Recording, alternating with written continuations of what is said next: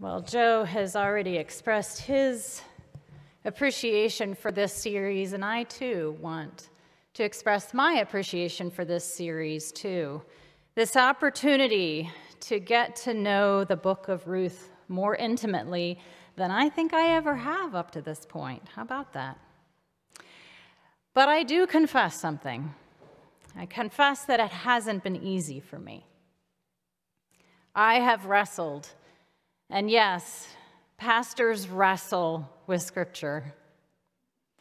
I wrestle with some of the stories of the Bible, this being one of them. I grew up knowing Ruth through the, the, um, the well known pledge that she gave to Naomi, which is lovely and noble to pull out. But as I've grown older, I became aware and unsettled with a patriarchal culture that made it such that there needed to be laws such as these to take care of Ruth and Naomi, of the marginalized. So I'm stirred to the point of anger when the patriarchy of that day seeps through the calculated and risky actions Ruth takes in order to secure a future that felt safe for her and Naomi. So I consider it a spiritual discipline for me to dig deeper, to keep searching for the hope in this and one of the difficult stories in the Bible. But I can stand here and honestly say this morning that I have valued this deep dive and I have found hope. This last chapter, chapter four, is the bookend to the beginning of the story, bringing hope and new life to what was a story of great loss and grief in the beginning. What began as displacement within a climate crisis because of a severe drought concludes with plenty, both in the literal harvest that was reaped, but also in Boaz following through or offering and following through on his oath to Ruth made on the threshing floor that we uh, worked through last week. So, the city gate is where chapter 4 opens. This place where the business with the elders occurs. And Boaz was full of knowledge of the religious and social laws of the day, and he knew where he needed to go in order to make things right, to secure security for Ruth and Naomi. So, in this scene, Boaz is depicted as somewhat casual, as he says to the next of kin, the kinsman redeemer, Hey, friend, or otherwise known, I think, as, as, I've read through some of the commentaries as, hey, so and so, kind of this um, informal term that he called the kinsman redeemer. And he continues leading with great intentionality, orchestrating the gathering of the kinsman redeemer and the elders so that there were eyewitnesses there to see this tr- and hear this transaction based on the law. A law that is to ensure care for widows like Naomi and in this case, Elimelech's new widow, and Ruth as her subsequent daughter in law. So Boaz is strategic here, and he's very measured in the amount of information that he gives each step of the way. So, as he approaches the kinsman redeemer and explains the situation, the available land, and that he has the opportunity to buy this land, to carry on the name of Elimelech and Naomi as being a part of this. Because it's not until after the kinsman redeemer says, Sure, I'll take that land, I will buy that, that there's any mention of Ruth. So after the kinsman redeemer says yes, Boaz continues to add the details about caring for Ruth and making sure to carry on the lineage through bearing children with her. At this point, the kinsman redeemer backs away. He saw Ruth as a foreigner and a threat, and he says as much. He's a threat. She is a threat to my property or a risk. This is too big of a risk for me. And he declines following through as being kinsman redeemer. That leaves the next of kin as Boaz. And so, as a symbol of passing the kinsman redeemer's responsibility from one to the next, this gentleman passes his sandal to Boaz. And as Boaz was smart from the very beginning to have the elders there, the elders witness this passing of the sandal, and it seen as a binding agreement between the two of them and ends with the elders offering their blessing to Boaz. So, how was it that Boaz didn't see Ruth as a threat, as this other kinsman redeemer did? In fact, we've walked through some of these uh, actions that Boaz took in seeing that he never seemed to see her as a threat. From the moment he noticed her gleaning in his fields and found out who she was and what her story was, Boaz sought to create a safe place for both Ruth and Naomi to settle. Boaz witnessed the virtuous love and loyalty that Ruth had for her mother in law.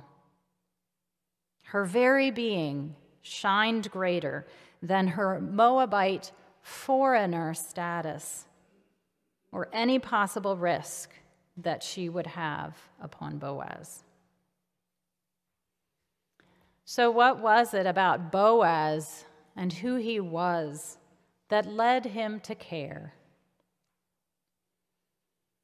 In this chapter and in the whole book, Boaz is depicted as having a virtuous character, holding his power and privilege with a deep sense of responsibility for his farm, his profession, the responsibility as an employer, but also in his deep faith. He knew God's law but he also allowed God's Spirit to form the heart of the law deep within him. Now, we read Naomi naming Boaz as the kinsman redeemer, but I just wonder if Boaz knew his familial relationship with Naomi once he heard Ruth's story. for he so easily extended this protection to Ruth, giving explicit instructions to his workers to honor Ruth's efforts, as if creating this, uh, the, the spirit of the law already around them. Carissa has done a wonderful job this morning of opening up again this word of chesed and that English doesn't quite do it justice. And it is seen in both Ruth's actions and Boaz. To fill this word out, chesed, chesed inspires merciful and compassionate behavior towards another. Hesed surpasses ordinary kindness and friendship. Chesed runs deeper than social expectations responsibilities, perhaps fluctuating emotions, or what is deserved or earned. This is Boaz's response. Boaz was embodying chesed. And herein lies one of the hopes for me. God's law here was not designed to keep Moabites out, or any others for that matter, or to have an elite following. God's law was to create a framework to which Boaz, uh, Boaz's very being, could be nourished through compassion and grace. Boaz's personhood became the springboard to offer the same to Ruth and Naomi, regardless of their race, economic status, or history. And thus, Boaz didn't see an immigrant or even an enemy, but rather he saw family. And not only that, Ruth's example of chesed towards Naomi was praised being worth more than seven sons. In a patriarchal society as this was, the sons were valued greatly. She was worth more than seven sons, announced by the women who gave Naomi a blessing in this chapter. I find it interesting, though, that Obed isn't necessarily a blood grandson of Naomi, for it was Ruth's husband that was Naomi's son.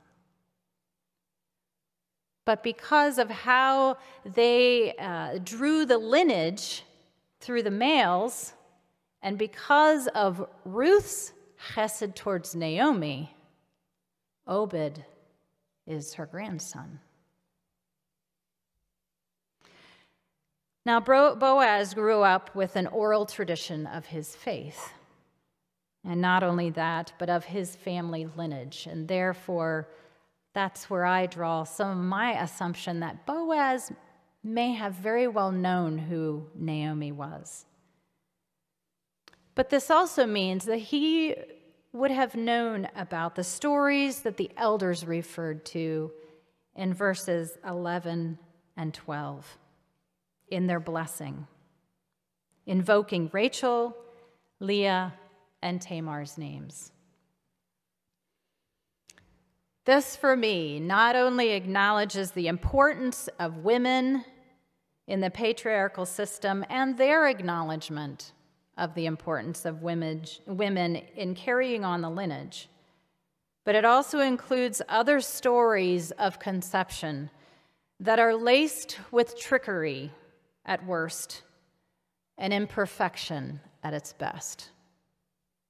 And if you want to familiarize yourself with these stories once again, they're found in Genesis 29 and 38. That can be your afternoon, afternoon reading.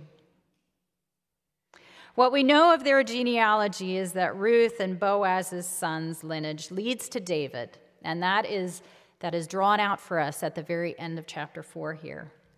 And then David's lineage leads to Jesus. So the other text we heard this morning is Mary's Magnificat, and perhaps an unlikely time to hear it. However, there are threads of similarities between Ruth and Mary. Ruth was an unlikely recipient of such generosity of grace and compassion within this context. Yet she exemplified chesed. Mary was a young virgin, also an unlikely participant in continuing the lineage and the story of God's redemption. She also was a woman embodying God's chesed. Both women of valor. The blessing of the women to Naomi and Mary's song both offer praise to the God who offers loving kindness, who offers chesed to God's people. As I've held this story, I have wondered about our own cultural and religious context. I can lament the patriarchy of Ruth's day, but also know full well we still have structures and a culture that is built on patriarchy. A culture in which needs laws in which to care for the vulnerable. It's easy to come down hard and negative. I believe a gleaning from Boaz is about being aware of one's power and privilege within a system for which Boaz seems to be aware in this story and uses it to the benefit of Ruth. So, for us, some of these questions that I think we need to grapple with and ponder as we name and become aware of the power and privilege that we have in our own time. Consider some of these questions. What are the various spheres of influence that you hold in your family, profession, church, and neighborhood? What power does your gender, skin color, economic, and educational status give you without even asking for it? How are you cultivating your awareness of the people around you, their stories, and their needs? One came to mind for me this past week as I have learned that open doors does not have a place to settle right now because they are renovating a new site. And that leaves many of our friends in this area without shelter at night. So, how are we informing ourselves of these stories of our neighbors who struggle? Another question What are the names we use to describe who and what we see? Do you find the words lazy, crazy, felon, addict, scammer, or leechers of the system in your vocabulary? Or do you find friend, sister, brother? Personal, personal awareness of one's power and, and influence is beneficial. But another gleaning is that of cultivating one's spiritual practices to nurture God's loving kindness within our beings. In other words, how are you opening your spirit to receive God's Hesed for you? What are your spiritual practices that nourish your Hesed of self? And what are ways that you are cultivating Hesed for others, especially on the margins? In the book of Ruth, it is this loving kindness embodied in the people that carries it on. It was mentioned other Sundays, and I came across this myself in my reading. God is not mentioned explicitly within the book of Ruth but rather it is communicated that God was at work in the people, in the ordinary, day to day, and through each person's act of loving kindness towards the other. So, sisters and brothers, what is clear in this book is that God's gracious, merciful, loving kindness, otherwise known as God's chesed, is for all and endures forever. It endured before Rachel and Leah, before Tamar and Ruth, before Mary and Elizabeth, before Teresa of Avila and Julian of Norwich, before Mother Teresa and Maya Angelou. And it continues in you and I today. You and I. Through our everyday interactions, have the opportunity to offer God's chesed to ourselves and to others. This is a form of worship, honoring our Creator, the one who offers loving kindness and graciousness and compassion to us. We, the bearers of God's compassionate grace, are also in need of God's grace when we don't have the wisdom, wisdom to act with such loving kindness. So I invite you to join me in the confessions written in your bulletin, and you'll find it up on the screen as well, as we acknowledge our shortcomings. Day and night, we cry out to God for help. We ask for food for the hungry, power for the powerless, justice for the oppressed. In the middle of the night, our hearts cry out God, do something. Make things right. Grant us peace. Change the world. In those moments of darkness, God asks us to participate in creating a more righteous and peaceful world. We confess that too often we look for a miracle when our hands and hearts can be God's means of granting justice.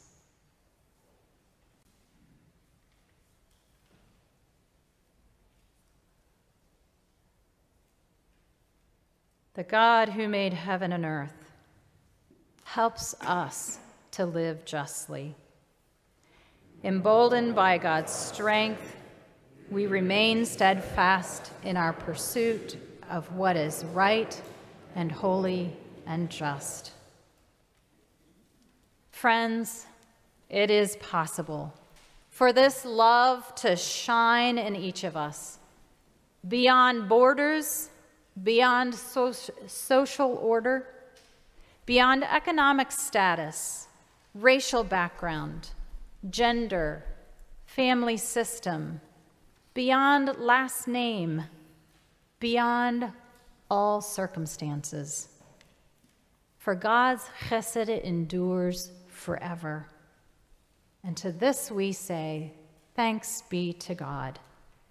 And by God's grace and wisdom, we will carry it wherever we go. Amen.